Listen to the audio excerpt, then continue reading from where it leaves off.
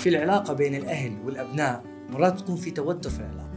بس إذا بتزيد هاي الفجوة بكون سببها عدم الشعور بالأمان فقدان الحوار. مرات عدم تقبل الآباء المصارحة مع أبنائهم.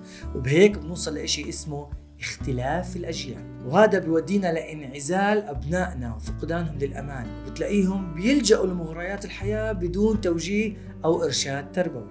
وشعورهم إنه إحنا مش سألانين فيهم ولا سألانين بأمورهم الخاصة بيسبب ضعف الترابط الأسري.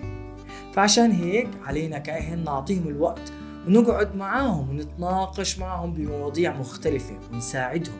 وأهم إشي نقعد نسمعهم ونعطيهم الثقة ونعزز عندهم هاي الثقة ونعطيهم المساحة معنا حتى يشاركونا أفكارهم أو حتى همومهم. ونبعد عن الأوامر والتهديد اللي بتدمر العلاقة بين الأهل والأبناء.